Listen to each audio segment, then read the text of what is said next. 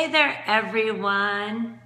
I'm here tonight to share with you a few things that you need to know about supplements.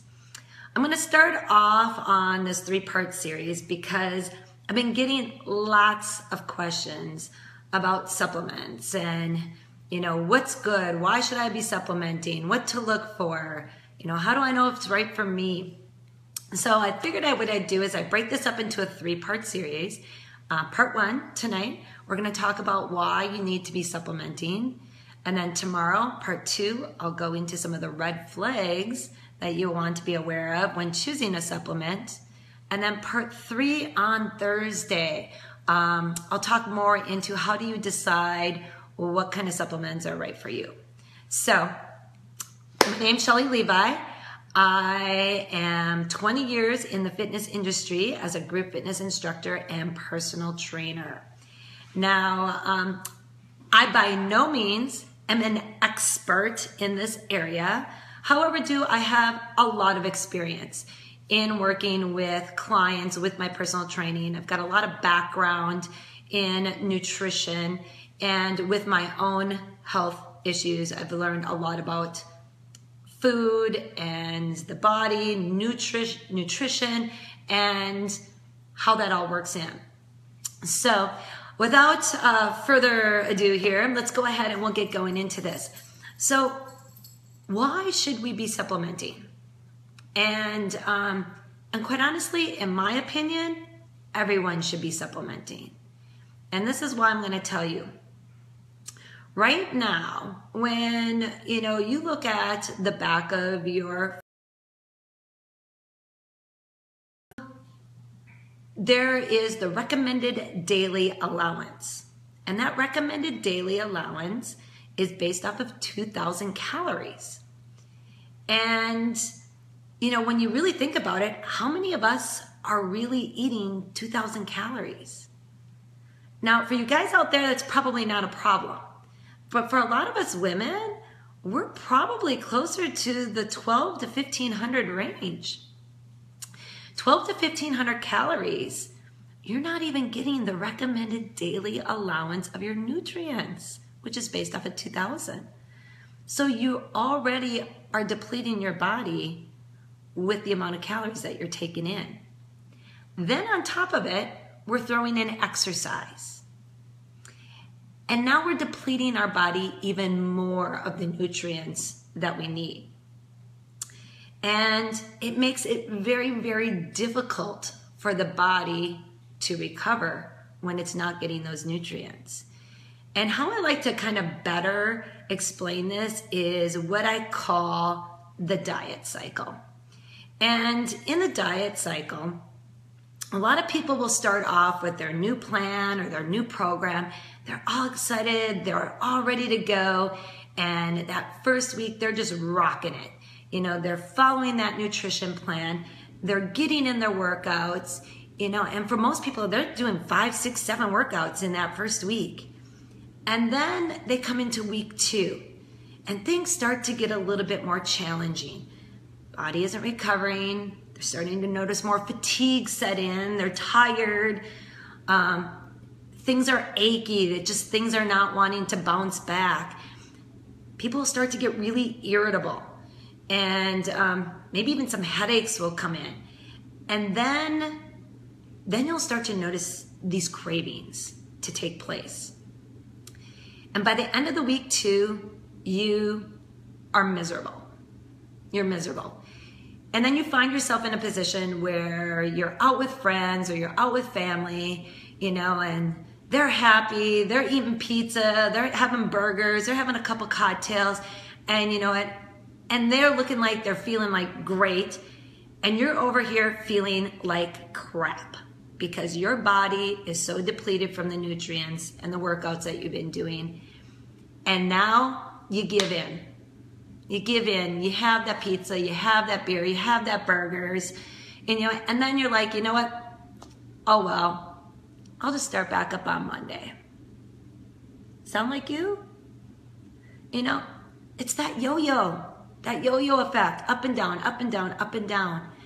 But the thing is, it doesn't need to be that way. If your body is getting what it needs, you won't be going through, for most of us, you won't be going through that yo yo effect.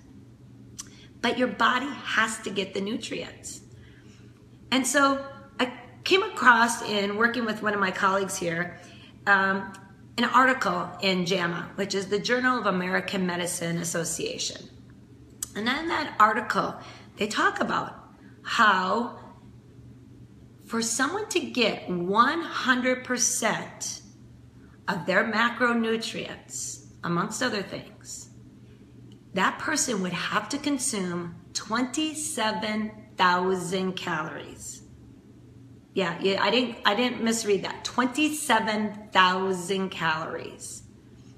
Obviously that's not going to happen. That's not going to happen.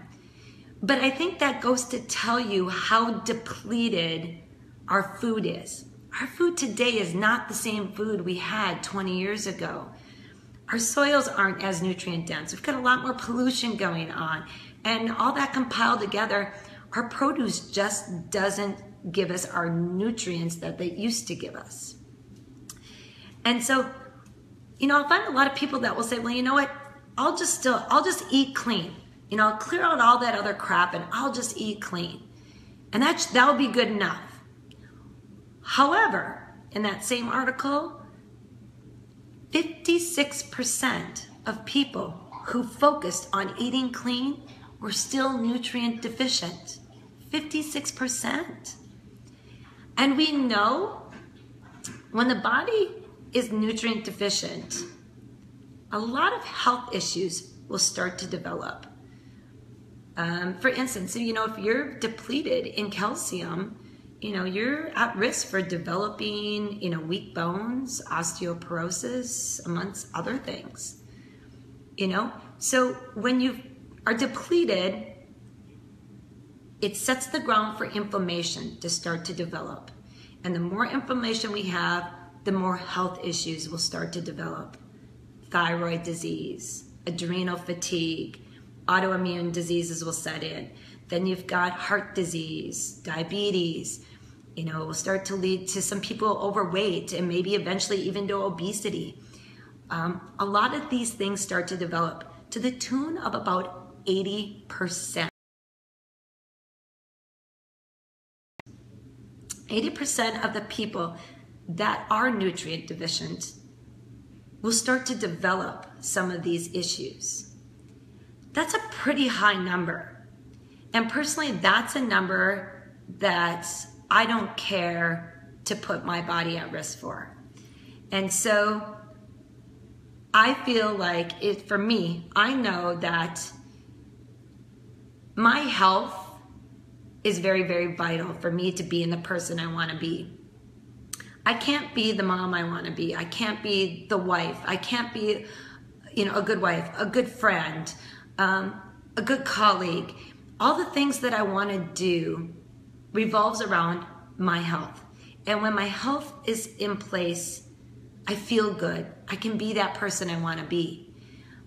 But you have to take into account are you feeding the body? Is your body getting what it needs? And so I found that out in 2013, you know, for on my own personal story. This is while I'd already been diagnosed with celiac disease, you know, and a lot of, you know, there was a lot of gut health. Um, you don't, if you don't have the gut health going on, that's associated with about, you know, 70% of your gut health associated with your immunity. And so if this isn't taken care of and doesn't get what it needs, um, again, the body doesn't cooperate. And in 2013, I found out, you know, I was nutrient deficient in magnesium, calcium, vitamin D, B12, iron, and I think there was another one, maybe potassium. I think there was another one or two on there.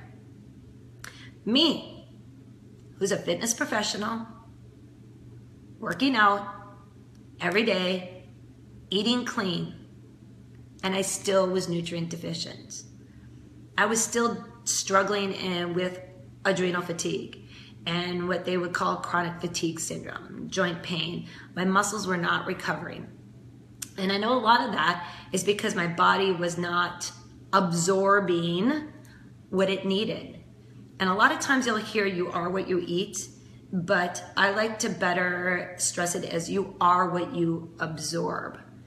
And so I was taking a multivitamin, a very reputable one.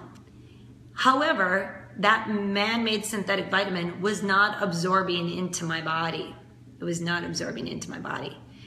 And it's when I found a supplement that actually absorbed into my body, I didn't have those issues anymore.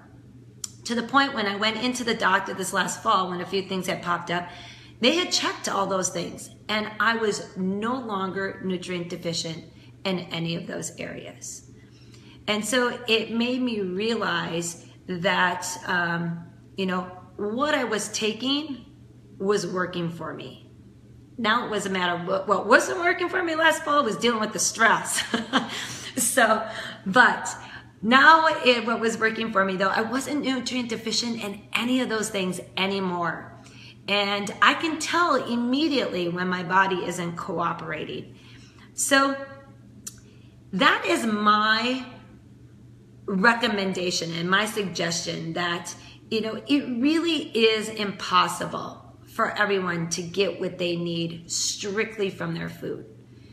And so at some point, you're going to have to figure out, you know, what is going to work for you because what works for me may not work for you. But that's what I'm going to go ahead and I'm going to cover in these next couple parts, you know, and share some more of, you know, what to look for and how do you know if it's right for you. But at least you know now why supplementing is important and why you need it in there. And the more the body gets the nutrients it needs, the more it can function. So organs can do what they're designed to do and it will cooperate. So I hope you found this information useful. If you have more questions, please don't hesitate to comment below. I'll do my best at answering them or even private message me. I know sometimes it can be a little awkward to share some personal um, stories um, right here on Facebook. But um, uh, yeah, don't be afraid to uh, ask me any questions. And then again, like I said, tune in to Wednesday and Thursday, where you'll get the part two and part three of the series of why you should be supplementing and some of the things you should need to know. All right, you guys have a great night. Thanks for joining me.